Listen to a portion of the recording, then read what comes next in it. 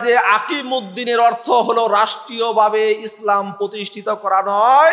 আকিমুদ্দিনের অর্থ হলো আকিমুত তাওহিদ আকিমুল ইবাদাহ যে তাওহিদ প্রতিষ্ঠা করা, আল্লাহ রবুল্লাহ আলমিনের ইবাদত প্রতিষ্ঠা করা হলো এর অর্থ।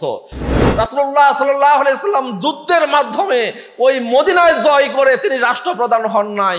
তিনি তার ব্যবহার, তার প্রজ্ঞা, তার রাজনৈতিক দূরদর্শিতার মাধ্যমে তিনি মদিনা রাষ্ট্রের সকলে প্রিয় ভাজন হয়েছিলেন।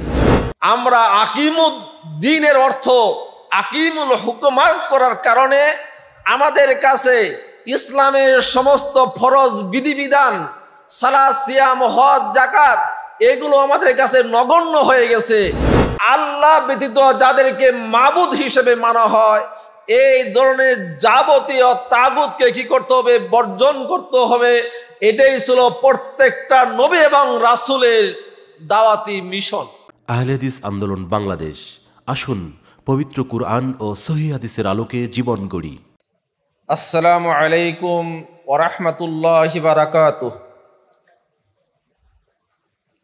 ইন্নাল হামদালিল্লাহ والصلاة والسلام على رسول الله أما بعد فقد قال الله تعالى في كلامه المجيد والفرقان الحميد فأعوذ بالله من الشيطان الرجيم. بسم الله الرحمن الرحيم. شرع لكم من الدين ما وصى به نوحا والذي أوحينا إليك وما وصينا به إبراهيم وموسى وعيسى أن أقيموا الدين ولا تتفرقوا فيه. وعن عبد الله بن عباس رضي الله تعالى عنهما قال خرج علينا النبي صلى الله عليه وسلم يوما فقال أردت علي الأمام فجعل يمر النبي ومعه رجل والنبي معه رجلان والنبي معه الرحد والنبي ليس معه أحد. راه البخاري. বাইশতম কর্মী সম্মেলনের মুহতারাম সভাপতি মুহতারাম আমিরের জামায়াত প্রফেসর ডক্টর মোহাম্মদ আসাদুল্লাহ আল গালিব দেশের বিভিন্ন প্রান্ত থেকে আগত আহলাদিস আন্দোলন, বাংলাদেশ বাংলাদেশ আহলাদিস যুব সংঘ, মহিলা সংস্থা, সোনামণি সহ বিভিন্ন স্তরের দায়িত্বশীল কর্মী বৃন্দ। মহান আল্লাহ রব্বুল্লাহ আলমিনের শেষ মেহরবানি। যে মহান আল্লাহ রব্বুল্লাহ আলমিন আমাদেরকে এই কর্মী সম্মেলনে উপস্থিত হওয়ার জন্য তৌফিক দান করেছেন। তার জন্য তার দরবারে শুক্রিয়া জানাই সকলে বলি আলহামদুলিল্লাহ। অতপর দরুদ সালাম, সৃষ্টির শ্রেষ্ঠ সত্যকেতন বাহক প্রাতকীর ত্রাণকর্তা জনাবে সৈয়দুল আনবিয়া জনাবে মোহাম্মদ রসুল্লাহ সকল সাল্লাহ আলী ও সাল্লামের প্রতি যুগে যুগে অসংখ্য দরুদ সালাম বর্ষিত হোক। সকলে বলুন আল্লাহ আমিন আল্লাহ সাল্লি আলাইহি আল্লাহ বারিক আলাই পিরারে হাজরিন, আজকে আলোচনার বিষয় ইকামাতিদ্দিন, ভ্রান্তি নিরসন। মহান আল্লাহ রবুল্লা আলমিন পবিত্র কোরআনুল করিমে সুরাতু সুরা তেরো নম্বর আয়াতে ইকামতের দিনের বিষয়ে আমাদেরকে বিস্তারিত দিক নির্দেশনা দিয়েছেন। মহান আল্লাহ রবুল আলমিন বলেন, সারা আলা কুমিনাদ্দিন আমি তোমাদের জন্য দিনের সেই রাস্তাকে বিধিবদ্ধ করে দিলাম, লিপিবদ্ধ করে দিলাম। মা ওয়াসাবিহি নুহা। যেভাবে আমি ওসিয়ত করেছিলাম নোহ আলহি সালামের প্রতি। ওয়াল্লাজি আউহাইনা ইলাইক, এবং যেভাবে ওহি অবতীর্ণ করেছি আপনার প্রতি। অমা ওয়াসাইনা বিহি ইব্রাহিম ওয়া মুসা ওয়া ঈসা আন আকিমুদ্দিন। অনুরূপভাবে নির্দেশ দিয়েছিলাম ইব্রাহিম, মুসা এবং ঈসা আলাইহি সালাতামকে যে আন আকিমুদ্দিন, তোমরা দিন কায়েম করবে ওলা তাতা ফার্রাকু ফিহে, তাতে ঐক্য বিনষ্ট করবে না, অনৈক্য করবে না। মহান আল্লাহ রব্বুল আলমিন এই আয়াতে আকিমুদ্দিন বলে চারজন নবীর নাম এখানে উল্লেখ করেছেন। এই আকিমুদ্দিন আমরা প্রথম আমরা জানব যে আকিমুদ্দিনের মূল অর্থ কি? সলাফে সালেহীন, তারা এই আকিমুদ্দিনের কি অর্থ গ্রহণ করেছেন? যদি কোরআনুল করিমের এবং হাদিসের অর্থ যদি সালাফে সালেহিনের বুঝ ছাড়া নিজের বুঝ অনুযায়ী আমরা অর্থ করি, তাহলে আমাদের পদভ্রষ্টতা অবশ্যম্ভাবী। প্রথমে আমরা জানব রাইসুল মুফাসরিন মুফাসরিকুল শিরোমণি হজরত আবদুল্লাহ ইবনে আব্বাস রাজি আল্লাহ আনহু এই আকিবুদ্দিন শব্দের অর্থ কি ব্যাখ্যা করেছেন? তিনি বলেছেন আনিত্তাফিকুফিদ্দিন তোমরা দিনের ব্যাপারে ঐক্যবদ্ধ থাকো। আর ইমাম কুরতুবি রহমাহুল্লাহ আকিমুদ্দিনের অর্থ করেছেন, হুয়া তাআত। যে আকিমুদ্দিনের অর্থ হলো যে আল্লাহর তাহিদ তথা একত্ববাদ এবং তার আনুগত্য প্রতিষ্ঠিত করা। তাফসির ইবনে কাসির প্রণেতা আল্লামা ইবনে কাসির রহমাহুল্লাহ আকিমুদ্দিনের ব্যাখ্যা করেছেন আদ্দিন উল্লাজি যা রসুল কুল্লুহুম। এটা হলো সেই দিন, যে দিনের উপর ছিলেন প্রত্যেকটা নবী এবং রাসুল। ওয়া ইবাদাতুল্লাহ ওয়াহাদা। আর সেটা হলো আল্লাহর কি এক আল্লাহর ইবাদত করা? লা শারিকালা। এবং তার সাথে কোনো অংশীদার স্থাপন না করা। মূলত এটার অর্থ সেই তাওহিদ। এবার জালালউদ্দিন মোহল্লি রাহমাহুল্লাহ আলাই তিনি আকিমুদ্দিনের অর্থ সরাসরি বলছেন আত্মাউহিদ ইমাম শাওকানি রাহমাহুল্লাহ আকিমুদ্দিনের অর্থ করেছেন আয়াত তাওহিদুল্লাহ ওয়াল ঈমান বিহি ওয়া অর্থাৎ প্রায় সকল মুফাসসিরিনে কেরাম আকিমুদ্দিনের অর্থ করেছেন আকিমুত তাওহীদ এমনকি তাফসিরে জিলালুল কোরআনের প্রণেতা, উনিও আকিমুদ্দিনের অর্থ করেছেন যে হাকিকাতুত তাওহীদ একমাত্র আবুল আলা মৌদুদি উনি মাত্র এই আন আকিমুদ্দিনের অর্থ করেছেন যে হুকুমত প্রতিষ্ঠা করা। আর এই অর্থটাই বর্তমান জামানায় অনেক মানুষ এই আকিমুদ্দিনের অর্থ যে একামতে হুকুমত তারা গ্রহণ করেছেন। আসলে আকিমুদ্দিনের অর্থ যে আকিমুত তহিদ আকিমুল ইবাদাহ তার প্রমাণ হলো মহান আল্লাহ রবুল আলমিন পবিত্র কোরআনুল করিমে বলেছেন, ওয়ালাকাদ বাসনা ফি কুল্লি উম্মাতির রাসূলা আন ইবুদুল্লাহ ওয়াজতানিবুত তাগুত ওয়ালাকাদ বাসনা ফি কুল্লি উম্মাতির রাসূলা, আমি প্রত্যেক উম্মতের জন্য রাসূল প্রেরণ করেছিলাম। তাদের দাওয়াতের মিশন ছিল আন ইবুদুল্লাহ তোমরা সকলে আল্লাহর ইবাদত করবে। ওয়াজতানিবু তাগুত এবং যাবতীয় তাগুতকে। তাগুত কি? মা মাহবুদা দুন আল্লাহ আল্লাহ ব্যতীত যাদেরকে মাবুদ হিসেবে মানা হয়, এই ধরনের যাবতীয় তাগুতকে কি করতে হবে? বর্জন করতে হবে। এটাই ছিল প্রত্যেকটা নবী এবং রাসুলের দাওয়াতি মিশন। অথচ আমরা আকিমুদ দিনের অর্থ আকিমুল হুকুমাত করার কারণে আমাদের কাছে ইসলামের সমস্ত ফরজ বিধিবিধান সালা সিয়াম, হজ জাকাত এগুলো আমাদের কাছে নগণ্য হয়ে গেছে। আমাদের মূল, আমাদের অনেকের আছে এমন, আমাদের মূল থিম হলো যে যে কোনোভাবে হোক, আমাদেরকে আগে কি করতে হবে? আগে রাষ্ট্রীয়ভাবে ইসলাম প্রতিষ্ঠা করতে হবে। এই জিনিসটাকে ঘিরেই তাদের সমস্ত জীবন অতিবাহিত হয়। কিন্তু না, রাষ্ট্রীয়ভাবে ইসলাম প্রতিষ্ঠা করতে হবে, করা প্রয়োজন। সেটা আমরাও জানি, আমরাও মানি, আমরাও আন্তরিকভাবে সেটা বিশ্বাস করি, আমাদের প্রচেষ্টা রয়েছে। তবে সেটা এক নম্বরে নয়।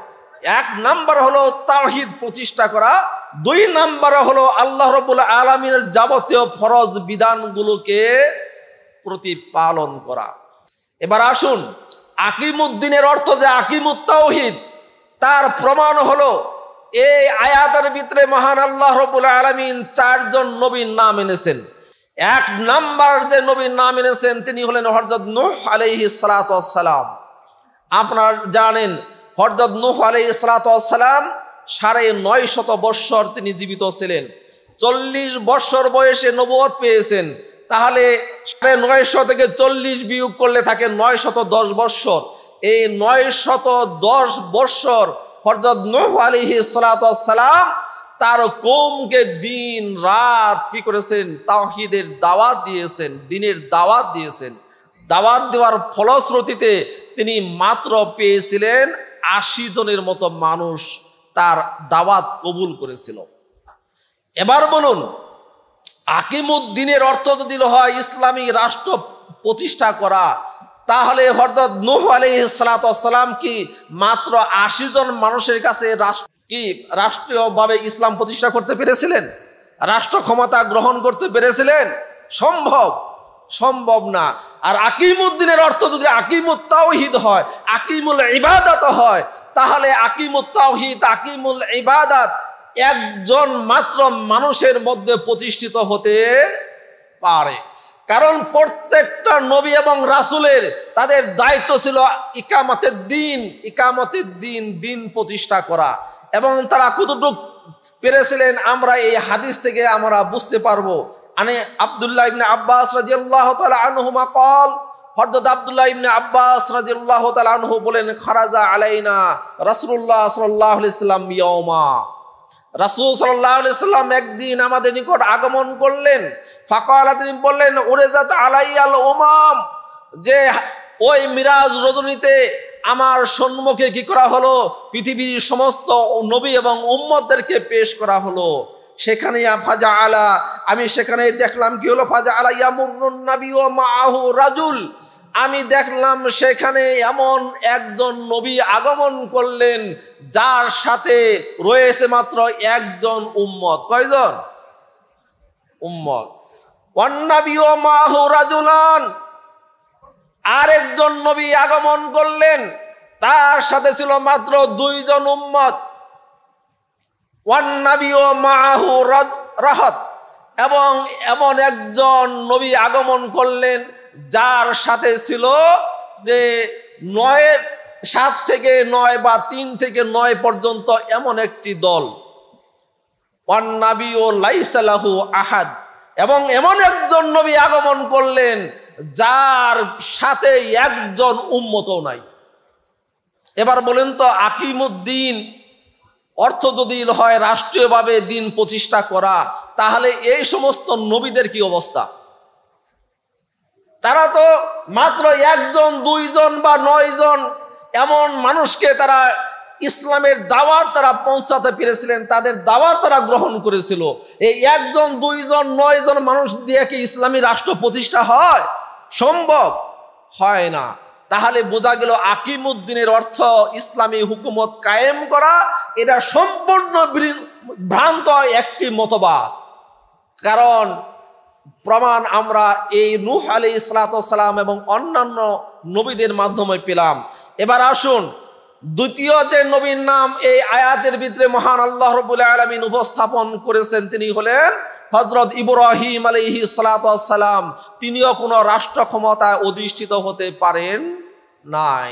তিনি এক রাষ্ট্র থেকে আরেক রাষ্ট্র, ওই ইরাকের ওই বাবেল থেকে কেনানে, কেনান থেকে মিশরে, মিশর থেকে আবার কেনানে, কেনান থেকে আবার মক্কায়, মক্কা থেকে আবার কেনানে। এইভাবে শুধু তিনি কি করেছেন? এক দেশ থেকে আরেক দেশ আরেক দেশ থেকে আরেক দেশে হিজরত করেছেন। তার উম্মত ছিল, অনুসারী ছিল, কিন্তু সে সমস্ত অনুসারীদেরকে নিয়ে তিনি কোনো রাষ্ট্র কায়েম করতে পারেননি বা করেননি। এরপর যে নবীর নাম আসছে, তিনি হলেন মুস আলী সালাম। আমরা তো ইতিহাস জানি যে হরদত মুসা আলিহি সালাম ওই ফেরাউন যখন নীল নদের ভিতরে হাবুডুবু খেয়ে মারা গেল, মুসার এই ফেরাউনের সিংহাসন খালি ছিল। মুসা আলি সালাতাম গিয়ে কিন্তু ফেরাউনের সেই সিংহাসন দখল করেন নাই, রাষ্ট্র ক্ষমতা দখল করেন নাই। তিনি চলে গেছেন অন্য দেশে ইসলামের দাওয়াত দেওয়ার জন্য। এরপরও কীভাবে বলেন যে আকিমুদ্দিনের অর্থ হলো যে রাষ্ট্রীয়ভাবে ইসলাম প্রতিষ্ঠা করা। এবার আসুন, সর্বশেষ যে নবী এখানে বলা হয়েছে, তিনি হলো ইস আলিহি সালাম তিনি যখন আকাশে মহান আল্লাহ রবুল আলমিন তাকে উঠিয়ে নেন, মাত্র দশজন তার অনুসারী ছিল, উম্ম ছিল কয়জন? মাত্র দশজন। তাহলে এই আয়াত থেকে আমরা এটাই দ্ব্যর্থহীনভাবে এই আয়াত থেকে প্রমাণ পাই যে আকিমুদ্দিনের অর্থ হলো রাষ্ট্রীয়ভাবে ইসলাম প্রতিষ্ঠিত করা নয়। আকিমুদ্দিনের অর্থ হলো আকিমুত্তাহিদ আকিমুল ইবাদাহ যে তাওহিদ প্রতিষ্ঠা করা, আল্লাহ রবুল্লাহ আলমিনের ইবাদত প্রতিষ্ঠা করা হলো এর অর্থ। বাদ বাকি যে সমস্ত নবী এবং রাসুল, চারজন নবী এবং রাসুল রাষ্ট্রীয় ক্ষমতা পেয়েছিলেন হরদ এক নম্বর হল ইউসুফ আলহি সালাম তিনিও রাষ্ট্রীয় ক্ষমতা পেয়েছিলেন স্বপ্নের ব্যাখ্যা করার কারণে। বিস্তারিত বলার সুযোগ নেই। তারপর হরদত দাউদ আলিহি সালাম উনিও রাষ্ট্রীয় ক্ষমতা পেয়েছিলেন। ওই জালুদকে ওই পাথর মেরে হত্যা করার প্রতিদান স্বরূপ। তার ছেলে হরদত সুলাইমান আলিহি সালাম তিনি রাষ্ট্রীয় ক্ষমতা পেয়েছিলেন পিতার উত্তরাধিকার সূত্রে। সর্বশেষ আমাদের প্রিয় নবী মোহাম্মদ রসুল্লাহ সাল্লাহ আলিয়াল্লাম তিনি কীভাবে রাষ্ট্রীয় ক্ষমতা পেয়েছিলেন, এটাই হলো আমাদের জন্য সবচেয়ে বড় শিক্ষণীয়, অনুসরণীয়, অনুকরণীয় বিষয়। কারণ আমরা হলাম তার উম্মাদ, তার দেখানো পথ অনুযায়ী আমাদেরকে চলতে হবে, ঠিক না বে ঠিক? মোহাম্মদ রসুল্লাহ সাল্লাহ আলিয়াল্লাম নবুয়াদ প্রাপ্তির পর প্রথমে গোপনে, সংগোপনে আপনজনদের কাছে ইসলামের দাওয়াত পৌঁছালেন। তারপরে আস্তে আস্তে তিনি ওই হজের মৌসুমে ওই মদিনা থেকে আগত সর্বপ্রথম ছয়জন লোকের কাছে ইসলামের দাওয়াত পৌঁছালেন। তারা ছয়জন ইসলাম গ্রহণ করলেন। তাদের কাছ থেকে একটা ওয়াদ আলিলেন একটা বায়াত গ্রহণ করলেন। ওই ছয়জন চলে গেলেন মদিনায়, তার সাথে পাঠিয়ে দিলেন মুসাহাব ইবনে উমায়ের রাজি আল্লাহ আনহুকে দায়ী হিসাবে। মুসাহাব ইবনে উমায়ের রাজি আল্লাহ আনহু মদিনার ইসলামের দাওয়াত দিতে লাগলেন। তার ফলশ্রুতিতে পরবর্তী বৎসরে আসলো, আগের পাঁচজন, পরে আরও সাতজন, মোট বারো জন। এবারও রাসুল্লাহ সাল্লাম তাদের কাছ থেকে বায়াত অঙ্গীকার গ্রহণ করলেন। এই বারো জন চলে গেলেন পরবর্তী বছর এই বারো জনের মাধ্যমে দিনের দাওয়াত পেয়ে পরবর্তী বছর আসলেন পঁচাত্তর জন, তিহাত্তর জন পুরুষ, দুইজন মহিলা। এই পঁচাত্তর জনের কাছ থেকে রাসুল্লাহ সাল্লাহ সাল্লাম অঙ্গীকার নিলেন। সেই অঙ্গীকারের ভিতরে তিনি অঙ্গীকার নিলেন যে তোমরা মদিনার অলিতে, গলিতে প্রত্যেকটা গোত্রের কাছে ইসলামের দাওয়াত, তাওহিদের দাওয়াত পৌঁছিয়ে দিবে। আর আমি ওসিরে আল্লাহর নির্দেশে তোমাদের কাছে আমি কি করব? হিজরত করব। হিজরত করলে তুমি, তোমরা তোমাদের পরিবার পরিজনকে যেভাবে হেফাজত করো, দেখাশোনা করো, সাহায্য, সহযোগিতা করো, আমাকেও তোমরা সেইভাবেই সাহায্য, সহযোগিতা করবে। তখন আসাদ ইবনে জুরারা আনহু বললেন, এর বিনিময়ে আমরা তাহলে কি পাবো? রাসুল বললেন আল জান্না বিনিময় পাবে তোমরা জান্নাত। এই যে তারা বায়াত গ্রহণ করলেন, মদিনায় চলে গেলেন, তার কিছুদিন পর রাসুল্লাহ সাল্লাহ সাল্লাম মক্কা থেকে মদিনায় হিজরত করলেন। হিজরত করে মদিনায় বিবদবান সে সমস্ত গোত্রগুলোকে তিনি সম্প্রীতির বন্ধনে আবদ্ধ করলেন। তার রাজনৈতিক দূরদর্শিতার কারণে তার ব্যবহারের কারণে ওই মদিনার ওই ইহুদি, ওই খ্রিস্টান পত্তলিক সমস্ত মানুষেরা রাসুল্লাহ সাল্লাহ আলাইসাল্লামকে নেতা হিসেবে তারা মেনে নিলেন। রাসুল্লাহ সাল্লাহ আলাইসাল্লাম মদিনাতে তিনি ওই এক বছরের ভিতরে সমস্ত কৌমকে নিয়ে, সমস্ত জাতিদেরকে নিয়ে, ওই ইহুদি, খ্রিস্টান, পত্তলিক সকলকে নিয়ে একটা রাষ্ট্র গঠন করলেন। একটা সংবিধান রচনা করলেন, যার নাম হলো মদিনার সদর। পৃথিবীর ইতিহাসে এটা হলো সর্বপ্রথম লিখিত রাষ্ট্রীয় সংবিধান। তার জন্য রাসুল্লাহ সাল্লাহ ইসলাম হলেন কি greatest political leader of the world সারা পৃথিবীতে রাসুল্লাহ সাল্লাহ ইসলাম সর্বশ্রেষ্ঠ হলেন রাজনীতিবিদ। তার উপর বড় কোনো রাজনীতিবিদ নেই। রাসুল্লাহ সাল্লাহ ইসলাম যুদ্ধের মাধ্যমে ওই মদিনায় জয় করে তিনি রাষ্ট্রপ্রধান হন নাই। তিনি তার ব্যবহার, তার প্রজ্ঞা, তার রাজনৈতিক দূরদর্শিতার মাধ্যমে তিনি মদিনা রাষ্ট্রের সকলে প্রিয় ভাজন হয়েছিলেন, শ্রদ্ধা ভাজন হয়েছিলেন, গ্রহণযোগ্য নেতা হিসাবে তিনি রূপান্তরিত হয়েছিলেন। তার জন্য সমস্ত জাতির লোকেরা তাকে রাষ্ট্রপ্রধান হিসেবে ঘোষণা করেছিল। বলতে পারেন, তাহলে এতগুলো যুদ্ধ? এই যে যে বদর, উহুদ, খন্দক সহ যতগুলো যুদ্ধ রাসুল করেছেন, কোন যুদ্ধই তিনি রাসুল্লাহ আসলাম আগে শুরু করেন নাই বা ওই যুদ্ধের মাধ্যমে ইসলাম প্রতিষ্ঠিত হয় নাই। যুদ্ধ ওই অমুসলিমরা যুদ্ধের দামামা বাজিয়েছে। রাসুল্লাহ সাল্লাহ সাল্লাম সেগুলো সাহাবা নিয়ে প্রতিহত করেছেন। ওই বদরের যুদ্ধের জয়লাভের কারণে রাসুল্লাহ সাল্লাম মদিনা রাষ্ট্রের রাষ্ট্রপতি হন নাই। উহুদের যুদ্ধে জয়লাভের কারণে রাসুল্লাহ সাল্লাহ সাল্লাম মদিনা রাষ্ট্রের রাষ্ট্রপতি হন নাই। খন্দকের যুদ্ধে জয়লাভের কারণে রাসুল্লাহ সাল্লাহ আলি সাল্লাম মদিনা রাষ্ট্রের রাষ্ট্রপতি হন নাই। এইগুলো আমাদেরকে সঠিকভাবে বুঝ, আমাদেরকে বুঝতে হবে। মহান আল্লাহ রবুল আলমিন আমাদেরকে তৌফিক দান করুন। আমরা সকলেই যেন এই আকিমুদ্দিন আল্লাহ রবুল্লা আলমিনের এই বিধান এটা যেন সঠিকভাবে অনুধাবন করতে পারি এবং সেই অনুযায়ী যেন আমাদের জীবনকে পরিচালনা করতে পারি। আমাদের মাঝে যে সমস্ত ভ্রান্তি রয়েছে, যে ব্যালট এবং বুলেটের মাধ্যমে দিন কায়েম করতে হবে, সেখান থেকে যেন ফিরে আসতে পারি। মহান আল্লাহ রবুল আলমিন আমাদেরকে তৌফি দান করুন। আল্লাহ আমিন। সেই সাথে মহান আল্লাহ রবুল আলমিনের ওয়াদা শুনিয়ে দিচ্ছি। মহান আল্লাহ বলেছেন ওয়াদ আল্লাহুল্লাজিনা আমানু মিনকুম ওয়া ফিল আরজ। যে তোমাদের মধ্যে যারা ইমান আনবে এবং আমল সালেহ করবে, তাদেরকে আমি দুনিয়াতে খিলাপত দান করব। কে ওয়াদা করেছেন? আল্লাহ, কি কি কাজ করলে? দুইটি কাজ। একটা হলো আমিনু ইমান আনতে হবে, ও আমিনু সালেহা। নেক কাজ করলে পরে আল্লাহ নিজে ওয়াদা করেছেন যে আমি অবশ্যই অবশ্যই তোমাদেরকে খিলাপত দান করব। কি, আল্লাহর কথা বিশ্বাস হয় কি হয় না? যদি হয় তাহলে সে অনুযায়ী আমাদেরকে কাজ করতে হবে। মহান আল্লাহ রবুল আলমিন আমাদেরকে তৌফিক দান করুন। সকল আল্লাহ আমিন। আসসালামু আলাইকুম রহমতুল্লাহ বারাকাত